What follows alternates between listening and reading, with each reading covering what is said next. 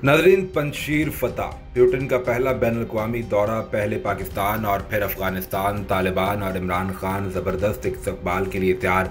दुनिया की सबसे बड़ी सुपर पावर की इस्लामाबाद आमद के मनाजिर, भारतीय मीडिया पर चीखो पुकार के साथ शाया किए जाने लगे। भारत दुनिया भर में तनो तनहा रह गया। पाकिस्तान और रूस अफ़गानिस्तान में पहला कौन सा प्रोजेक्ट शुरू करने वाले हैं? अब तक की बड़ी खबर सामने आ गई। अफ़गानिस्तान के लिए खुशहाली का दौर शुरू। चीन, रूस और पाकिस्तान के बाद अब अफ़गानिस्तान मुआशी ताकत बनेगा जबीउल्ला मुजाहिद और अब्दुल गनी ने कमाल कर दिया। वीडियो में तफसील से ये भी बताएँगे कि प्यूटिन कब इस्लामाबाद का दौरा करेंगे और तालिबान को कौन सी बड़ी खुशखबरी मिलने वाली है। नाजरीन, अब जबकि तालिबान ने पूरे अफ़गानिस्तान पर कब्जा कर लिया और सबसे ज़्यादा मुजामत का गढ़ मानी जाने वाली पंचीर वादी पर भी दोनों फ्रीकैन के माबैन मुजाकर कामयाब हो चुके हैं। और तालिबानी हुकूमत बनाने के रास्ते में आखिरी रुकावट भी ख़त्म हो चुकी है तो इस तमाम सूरत हाल के बाद वजी अजम इमरान खान ने रूस के सदर प्यूटिन को दौरा पाकिस्तान करने की दावत दे दी है। ये अब तक की एक बड़ी पेशरफ है, लेकिन इस दौरे का अहम तरीन मकसद क्या होगा? वजी अजम इमरान खान ने कहा है कि पुरान और मुस्तकम अफ़गानिस्तान, पाकिस्तान और खत्े के इसकाम के लिए अहम है। अफगान अवाम के तहफ़ सलामती और इंसानी हकूक़ के साथ साथ मसले के सियासी हल के ऊपर ज़ोर दिया गया है और ये बातें दोनों ममालिक के सरबराहान के माबैन टेलीफोनिक रबते के दौरान हुई। नाजरीन टेलीफोनिक रबते में दोनों रहनुमाओं ने अफ़गानिस्तान की बदलती सूरत हाल और दो तरफा ताल्लुक पर तबादला ख्याल किया। इस मौके पर वजी अजम इमरान खान ने कहा कि पुरान और मुस्तकम अफ़गानिस्तान पाकिस्तान और खत्े के इसकाम के लिए अहम है। अफगान अवाम के तहफ़ सलामती और इंसानी हकूक़ के साथ साथ मसले का सियासी हल भी ज़रूरी है। उन्होंने कहा कि अफगान अवाम की सिक्योरिटी और हकूक़ का तहफ़ यकीनी होना चाहिए। वजी अजम ने मुतालबा किया कि आलमी बरदरी अफगान अवाम की मदद के लिए आगे बढ़े और अफ़गानिस्तान में मुआशी इसकाम के लिए किरदार अदा करे। वजी अजम ने बदलती सूरत हाल से निमटने के लिए मरबूत नुक़ नज़र की अहमियत पर ज़ोर दिया। वजी अजम इमरान खान ने कहा है कि अफ़गानिस्तान में क्याम अमन के लिए सियासी मुजाकर के ज़रिए आगे बढ़ना बेहतरीन रास्ता है। वजी अजम ने इस बात पर ज़ोर दिया कि बैन अवी बरदरी को अफ़गानिस्तान के लोगों की मदद जारी रखनी चाहिए ताकि इंसानी ज़रूरियात को पूरा करने और मुआशी इसकाम को यकीनी बनाया जा सके। वजी अजम ने पाक रूस ताल्लुक और मुख्तलिफ़ शुबों में ताल्लुक पर इतमान का इजहार किया। वजी अजम ने तजारती ताल्लुक के साथ साथ तोानाई के शोबे में दो तरफा ताउन को मज़बूत बनाने की हुकूमती अज़म का भी अहाता किया, जिसमें पाकिस्तान स्ट्रीम गैस पाइपलाइन मनसूबे की जल्द तकमील भी शामिल है। इमरान खान ने सदर प्यूटिन को दौरा पाकिस्तान की भी दावत दे दी। नाजरीन उधर रूसी सदर व्लादिमिर पुतिन और उनके चीनी हम मनसब शी जिनपिंग ने इतफाक किया कि वो तालिबान के कब्जे के बाद अफ़गानिस्तान से उभरने वाले खतरा से निपटने के लिए कोशिशें तेज करेंगे। रिपोर्ट के मुताबिक इसी तनाजुर में जर्मन चांसलर एंजेला मर्कल ने कहा कि, कि बैन अवी बरदरी को तालिबान के साथ बातचीत को बरकरार रखना चाहिए अगर वो नेटो की तैनाती की दो दिहाइयों के दौरान मुल्क में नमदार होने वाली बेहतरी को बरकरार रखना चाहते हैं। रूस के मुताबिक एक टेलीफोन कॉल के दौरान रूसी और चीनी रहनुमाओं ने अफ़गानिस्तान के सरजमीन से होने वाली दहशतगर्दी और मंशियात की स्मगलिंग के खतरा से निपटने के लिए कोशिशें तेज करने के लिए अपनी तैयारी शुरू कर दी है। उन्होंने अफ़गानिस्तान में अमन के क्याम की अहमियत और मुलका इलाकों में अदम इसकाम के फैलाव को रोकने के बारे में भी बात की। रूसी और चीनी सदर ने दो तरफा ताउन और शंघाई ताउन तंजीम की मुमकिन सलाहितों से ज़्यादा से ज़्यादा फ़ायदा उठाने पर इतफाक किया, जो कि आइंदा माह तजाकिस्तान में एक सरबराही इजलास तलब करने वाला है। वस्ती एशिया में कई सबक सोवियत जमहूरिया के साथ अफ़गानिस्तान और चीन की सरहद लगती है। अगरचे मॉस्को, काबुल में नई क्यादत के बारे में मोहतात तौर पर पुरुद है। रूसी सदर ने अफगान अस्करियत पसंदों को पड़ोसी ममालिक में पनागजीनों के तौर पर दाखिल होने से खबरदार किया है।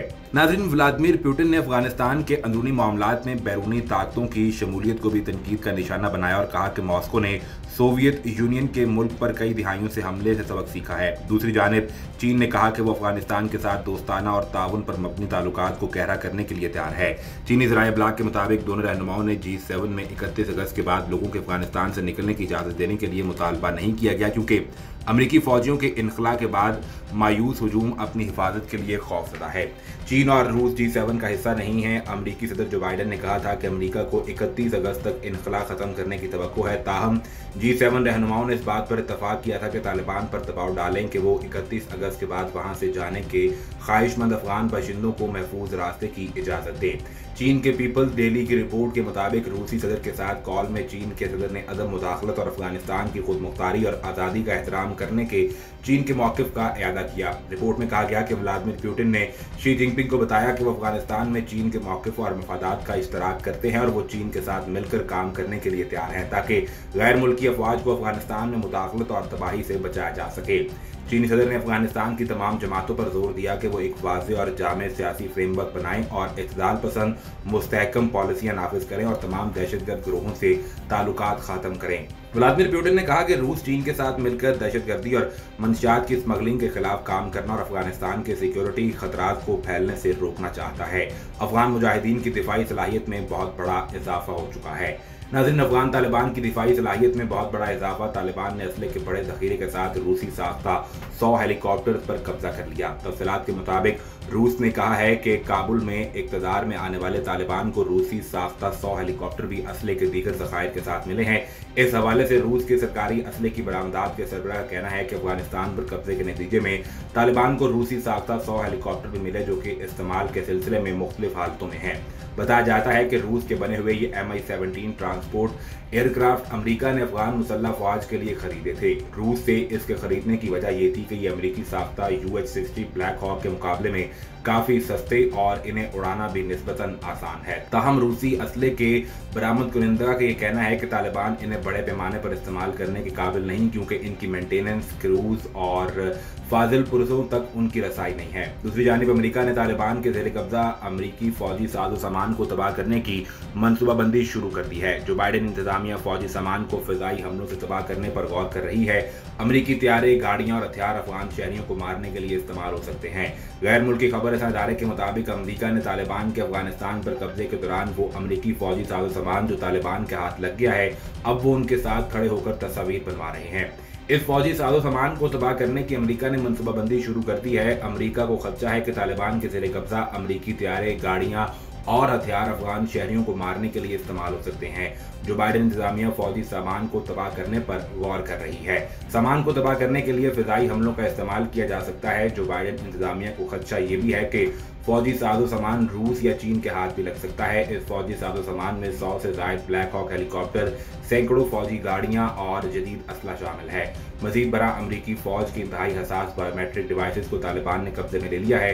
गैर मुल्की खबर इस अदारे के मुताबिक अमरीकी फौज को इस बात के खदशात लाक हैं कि इन डिवाइसेस में मौजूद हसास तरीन मालूम को उसके मुखालफी उसके खिलाफ इस्तेमाल कर सकते हैं। रिपोर्ट में कहा गया कि यह वाक़ गुजशत हफ़्ते पेश आया और अमरीकी फौज की बायोमेट्रिक डिवाइसेस को तालिबान के कब्जे में गए हुए एक हफ़्ते का वक्त गुजर चुका है।